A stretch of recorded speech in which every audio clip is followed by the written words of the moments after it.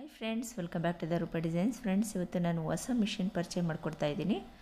ಇದು ನೋಡಿ Jack F four machine ಇದು.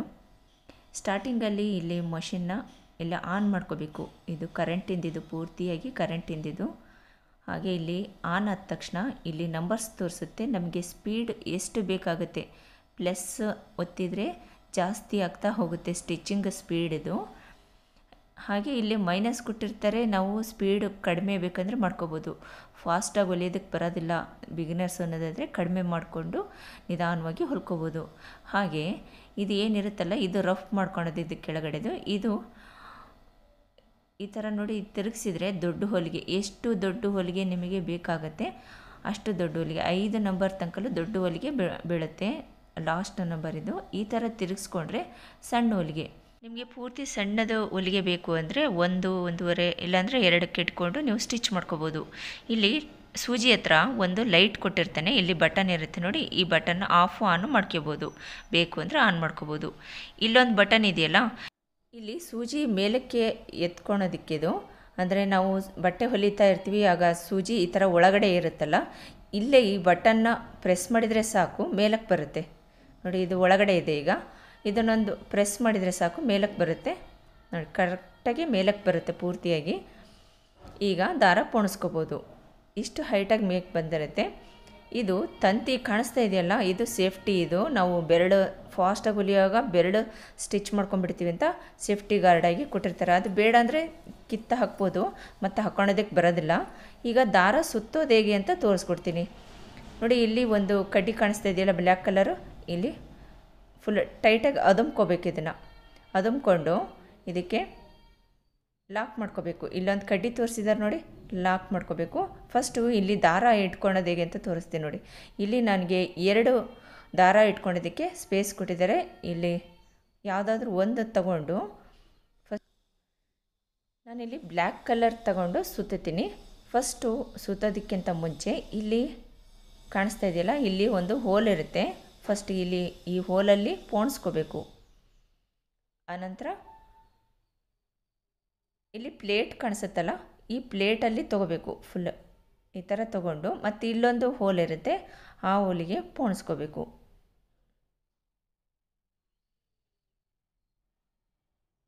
ಈ ಥರ ಪೋಣಿಸ್ಕೊಂಡಿದ್ದಾದಮೇಲೆ ನಾವಿಲ್ಲಿ ಬಾಬಿನ್ ಇಟ್ಕೊಂಡಿರ್ತೀವಲ್ಲ,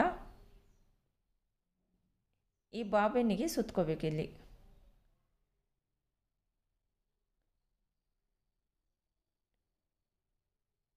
ಒಂದು ನಾಲ್ಕೈದು ಸುತ್ತು ಈ ಥರ ಸುತ್ತಕೊಂಡು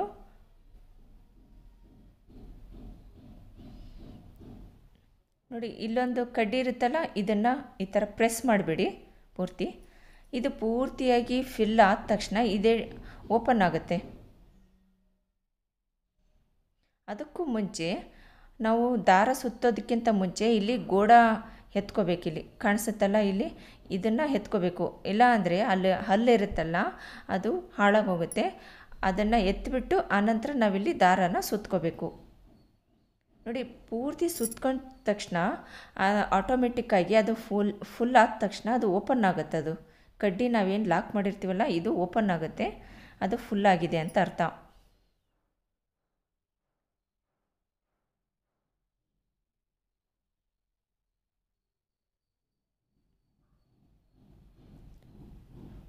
ನೋಡಿ, ಅದೇ ಫುಲ್ ಆಗಿ, ಆದ ತಕ್ಷಣವೇ ಓಪನ್ ಆಗುತ್ತೆ. ಈಗ ಇಲ್ಲಿ ದಾರ ಕಟ್ ಮಾಡೋದಕ್ಕೆ ಒಂದು ಬ್ಲೇಡ್ ಕೊಟ್ಟಿರ್ತಾರೆ ಮಿಷಿನ್ ಮೇಲ್ಗಡೆ. ನೋಡಿ, ಇಲ್ಲಿ ಕಾಣಿಸುತ್ತಲ್ಲ? ಇದು ಬ್ಲೇಡ್ ಇದು. ನಾವು ಇಲ್ಲಿ ಕತ್ರಿ ಯೂಸ್ ಮಾಡೋ ಅವಶ್ಯಕತೆ ಇರಲ್ಲ. ಈ ಬ್ಲೇಡಲ್ಲೇ ನಾವು ದಾರನ ಕಟ್ ಮಾಡ್ಕೋಬೋದು. ಜಸ್ಟ್ ಈ ಥರ ತೊಗೊಂಡು ಹಿಂಗೆ ಎಳ್ಕೊಂಡ್ರೆ ಸಾಕು, ದಾರ ಕಟ್ ಆಗುತ್ತೆ. ಇಲ್ಲಿ ಸ್ವಲ್ಪನೇ ಬ್ಲೇಡ್ ಕೊಟ್ಟಿರ್ತಾನೆ. ನೋಡಿ ಫುಲ್ ಆಗಿದೆ ಇದು. ಈಗ ಕೇಸಿಗೆ ಈ ಥರ ಹಾಕ್ಬಿಟ್ಟು ನೋಡಿ, ದಾರ ಯಾವ ಥರ ಇಟ್ಕೋಬೇಕು ಅಂತ ತೋರಿಸ್ತೀನಿ. ಈ ಥರ ಮೇಲಕ್ಕೆ ಬರಬೇಕು ಈ ಥರ. ದಾರ ಮೇಲಕ್ಕಿರಬೇಕು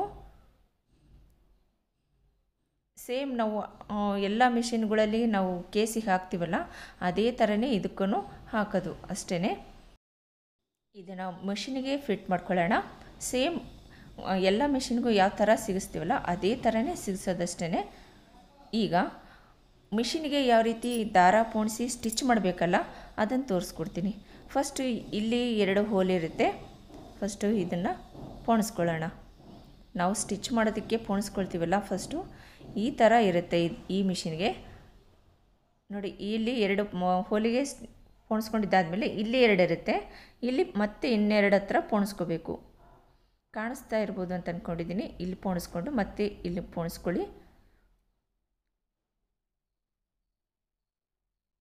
ಈಗ ಇಲ್ಲಿ ಕೆಳಭಾಗದಲ್ಲಿ ಇಲ್ಲಿ ಪ್ಲೇಟ್ ಇರುತ್ತಲ್ಲ, ಈ ಪ್ಲೇಟಿಗೆ ಸುತ್ಕೋಬೇಕು. ಈ ಕಡ್ಡಿ ಕೆಳಗಡೆ ತಗೊಂಡು, ನೆಕ್ಸ್ಟ್ ಇಲ್ಲಿ ಮೇಲ್ಗಡೆ ಒಂದು ರಿಂಗ್ ಕಾಣಿಸುತ್ತೆ ನೋಡಿ. ಎಲ್ಲ ಮಿಷಿನಲ್ಲೂ ಇರುತ್ತಲ್ಲ, ಅದೇ ಥರನೇ ಇದಕ್ಕೂ ಒಂದಿರುತ್ತೆ. ಅದಕ್ಕೊಂದು ಪೋಣಿಸ್ಕೊಳ್ಳೋಣ. ನೆಕ್ಸ್ಟು ಇಲ್ಲಿ ಎರಡು ರಿಂಗ್ ಥರ ಕೊಟ್ಟಿರ್ತಾನೆ. ಆ ಎರಡು ರಿಂಗಿಗೂ ಪೋಣಿಸ್ಕೋಬೇಕು. ಜಸ್ಟ್ ಇಲ್ಲಿ ಓಪನ್ ಇರುತ್ತೆ, ಈ ಥರ ಜಸ್ಟ್ ಒಳಗೆ ಕಳಿಸಿದರೆ ಸಾಕು. ನೆಕ್ಸ್ಟು ನೀಡಲ್ ಹತ್ರ ಒಂದು ರಿಂಗ್ ಥರ ಇರುತ್ತೆ ಜಸ್ಟ್ ಅದಕ್ಕೆ ಬೇಕು ಅಂದರೆ ನೀವು ಹಾಕ್ಕೊಳ್ಬೋದು ಬೇಡ ಅಂದರೆ ಸ್ಕಿಪ್ ಮಾಡ್ಕೋಬೋದು. ನಾನು ಅದಕ್ಕೆ ಹಾಕ್ಕೊಳ್ತೀನಿ ಈಗ ನೀಡಲ್ಗೆ ಪೋಣಿಸ್ಕೋಬೇಕಲ್ಲ? ಫಸ್ಟು ಇಲ್ಲಿ ನೀಡಲ್ ಕೆಳಗಡೆ ಹೋಗಿರುತ್ತೆ ಬಟ್ಟೆ ಸ್ಟಿಚ್ ಮಾಡುವಾಗ. ಜಸ್ಟ್ ಈ ಬಟನ್ ಪ್ರೆಸ್ ಮಾಡಿದರೆ ಸಾಕು, ಮೇಲಕ್ಕೆ ಎದ್ದೇಳುತ್ತೆ. ನೋಡಿ ಕಾಣಿಸುತ್ತಲ್ಲ? ಈ ಥರ ಓಪನ್ ಮಾಡಿಕೊಂಡು ನಾವೀಗ ನೀಡಲ್ಗೆ ಹಾಕ್ಕೊಳ್ಳೋಣ ನೆಕ್ಸ್ಟು ಈ ಟೇಬಲಿಗೆ ಒಂದು ಡ್ರಾನು ಕೊಟ್ಟಿರ್ತಾನೆ. ಹಾಗೆ ಪಕ್ಕದಲ್ಲಿ ನಾವು ಕತ್ರಿ ಇಡ್ತೀವಲ್ಲ ಆ ಜಾಗದಲ್ಲಿ ಸ್ವಲ್ಪ ಸ್ಪೇಸ್ ಕೊಟ್ಟಿರ್ತಾನೆ. ಅಲ್ಲಿ ಬಾಬಿನು ಕೇಸು. ನಿಮಗೆ ಏನು ಬೇಕೋ ಅದನ್ನು ಇಲ್ಲಿ ಈ ಜಾಗದಲ್ಲಿ ಇಟ್ಕೋಬೋದು. ಇಲ್ಲಿ ಸ್ಪೀಡು ನಾನು ಆಗಲೇ ಸರಿಯಾಗಿ ತೋರಿಸಿಲ್ಲ ಅಂತ ತೋರಿಸ್ತಾ ಇದ್ದೀನಿ. ಇಲ್ಲಿ ಸ್ಪೀಡು ಬೇಕು ಅಂದರೆ ಸ್ಪೀಡು ಕಡಿಮೆ ಹೊಲಿಗೆ ಇಟ್ಕೊಳ್ತೀವಿ ಅಂದರೆ ಕಡಿಮೆ. ಬಿಗಿನರ್ಸ್ ಆದರೆ ಕಡಿಮೆ ಇಟ್ಕೊಂಡು ಸ್ಟಿಚ್ ಮಾಡ್ಕೊಳ್ಳಿ. ಸ್ಟಾರ್ಟಿಂಗಲ್ಲಿ ಈಗ ಇಲ್ಲಿ ಕೆಳಗಡೆ ಆಯಿಲ್ ಹಾಕೋದು ತೋರಿಸ್ಕೊಡ್ತಾ ಇದ್ದೀನಿ. ಈಗ ಆಲ್ರೆಡಿ ನಾನು ಆಯಿಲ್ ಹಾಕಿದ್ದೀನಿ. ಇದಕ್ಕೆ ಎಲ್ಲ ಮಿಷಿನ್ ಥರ ನಾವು ಮೇಲ್ಗಡೆ ಎಲ್ಲ ಆಯಿಲ್ ಹಾಕೋ ಥರ ಅಲ್ಲ. ಇದು ಒಂದು ಸಾರಿ ಇಲ್ಲಿ ಹಾಕಿಬಿಟ್ರೆ ಆರು ತಿಂಗಳು ವರ್ಷದ ತನಕ ನಾವು ಆಯಿಲ್ ಹಾಕೋ ಅವಶ್ಯಕತೆಯೇ ಇರಲ್ಲ. ನೋಡಿ ಕಾಣಿಸ್ತಾ ಇರ್ಬೋದು. ಈ ಬಾಕ್ಸ್ ಪೂರ್ತಿಯಾಗಿ ನಾವು ಆಯಿಲ್ ಹಾಕ್ಕೊಳ್ಬೇಕು ಅರ್ಧ ಲೀಟ್ರ್ ಇಡಿಸುತ್ತಿದ್ದು ಅರ್ಧ ಲೀಟ್ರ್ ಹಾಕಿದ್ರೆ ಆಯಿತು ಇಲ್ಲಿ ಕಸ ಹೋಗೋದಿಲ್ಲ. ಕಸ ಏನಿದ್ರು ಇಲ್ಲಿ ಬಿಡುತ್ತೆ. ಈ ಜಾಗದಾಗ ಅಷ್ಟೇ ಧೂಳು, ದಾರ ಎಲ್ಲ ಇಲ್ಲಿ ಬಿಡುತ್ತೆ. ಆಯಿಲ್ ಟ್ಯಾಂಕಿಗೆ ಒಂದು ಏನು ಕಸನೂ ಹೋಗೋದಿಲ್ಲ. ಅದು ಪೂರ್ತಿಯಾಗಿ ಫಿಲ್ ಆಗುತ್ತೆ. ಇದು ಆಯಿಲ್ ಒಳಗಡೆ ಮೋಟ್ರ್ ಕೂರಿಸಿರ್ತಾರೆ. ಹಾಗಾಗಿ ಅರ್ಧ ಲೀಟ್ರು ಆಯಿಲ್ ಇದಕ್ಕೆ ಹಾಕಬೇಕು. ಮೇಲ್ಗಡೆ ಎಲ್ಲಿ ಮೇಲ್ಗಡೆ ಎಲ್ಲೂ ಸಹ ಹಾಕಬಾರ್ದು ಮಿಷಿನ್ಗೆ ಒಂದು ಹತ್ರ ಇಲ್ಲಿ ಬಾಕ್ಸ್ ಕೊಟ್ಟಿರ್ತಾರಲ್ಲ, ಅಲ್ಲಿ ಮಾತ್ರ ಅರ್ಧ ಲೀಟ್ರ್ ಹಾಕಿದರೆ ಆರು ತಿಂಗಳು ವರ್ಷದ ಬರುತ್ತೆ. ಅದನ್ನು ಮತ್ತೆ ಯಾವಾಗ ತೆಗಿಬೇಕು, ಹೇಗೆ ತೆಗಿಬೇಕು, ಮತ್ತೆ ಆಯಿಲ್ ಯಾವ ಥರ ಹಾಕಬೇಕು ಅನ್ನೋದನ್ನು ನಾನು ನೆಕ್ಸ್ಟ್ ವಿಡಿಯೋದಲ್ಲಿ ತೋರಿಸ್ಕೊಡ್ತೀನಿ. ಯಾವ ಟೈಮಲ್ಲಿ ತೆಗಿಬೇಕು? ಅದಕ್ಕೆ ತೆಗಿಯೋದಕ್ಕೆ ಅಂತಲೇ ಒಂದು ಜಾಗ ತೋರಿಸಿರ್ತಾರೆ, ಅಲ್ಲಿ ಮಾತ್ರನೇ ತೆಗಿಬೇಕು. ಈ ಮಿಷಿನ್ ಕೆಳಭಾಗದಲ್ಲಿ ಇದಕ್ಕೆ ಬ್ರೇಕ್ ಕೊಟ್ಟಿರ್ತಾರೆ, ಅದು ಗೋಡ ಎತ್ತೋದಕ್ಕೆ. ಇಲ್ಲಿ ಕೆಳಗಡೆ ಕಾಣಿಸ್ತಾ ಇದೆಯಲ್ಲ, ಈ ಬಾಕ್ಸ್ ಪ್ರೆಸ್ ಮಾಡಿದರೆ ನಾವು ಸ್ಟಿಚ್ ಮಾಡ್ಬೋದು. ಇಲ್ಲಿ ನಾವು ಕಾಲಲ್ಲಿ ತುಳಿದ್ಬಿಟ್ಟು ಸ್ಟಿಚ್ ಮಾಡೋದಕ್ಕೆ ಬರೋದಿಲ್ಲ. ಇದು ಕರೆಂಟ್ ಮಾತ್ರ ಕರೆಂಟ್ ಇದ್ದಾಗ ಮಾತ್ರ ನಾವು ಬಟ್ಟೆ ಹೊಲಿಯೋದಕ್ಕೆ ಸಾಧ್ಯ. ಕರೆಂಟ್ ಇಲ್ಲ ಅಂದರೆ ನಾವು ಬಟ್ಟೆ ಹೊಲಿಯೋಕ್ಕಾಗೋದಿಲ್ಲ. ಎಲ್ಲ ಮಿಷಿನ್ ಥರ ಇಲ್ಲಿ ಗಾಳಿ ಇರಲ್ಲ, ಏನಿರಲ್ಲ. ಕರೆಂಟಿಂದಲೇ ಈ ಮಿಷಿನು ಓಡೋದು. ಕರೆಂಟ್ ಇತ್ತಪ್ಪ ಅಂದರೆ ನಾವು ಎಷ್ಟಾದರೂ ಬಟ್ಟೆ ಹೊಲಿಬೋದು. ಅವತ್ತಿನ ದಿವಸ ಕರೆಂಟ್ ಇಲ್ಲ ಅಂದರೆ ನಾವು ಒಂದು ಚೂರು ಬಟ್ಟೆ ಹೊಲಿಯೋಕ್ಕಾಗಲ್ಲ. ನೋಡಿ, ನಾನು ಪೂರ್ತಿಯಾಗಿ ತೋರಿಸ್ಕೊಟ್ಟಿದ್ದೀನಿ. ಇದು ಯಾವ ಥರ ಸ್ಟಿಚ್ ಮಾಡುತ್ತೆ ಅಂತ ತೋರಿಸ್ಕೊಡ್ತೀನಿ. ಎಲ್ಲ ಮಿಷಿಗಿಂತಲೂ ಈ ಮಿಷಿನು ಸ್ವಲ್ಪ ಸಾಫ್ಟಾಗಿ ಇನ್ನೂ ಚೆನ್ನಾಗಿ ಸ್ಟಿಚ್ ಮಾಡುತ್ತೆ. ಹಾಗೆ ಸೌಂಡ್ ಕಡಿಮೆ ಬರುತ್ತೆ.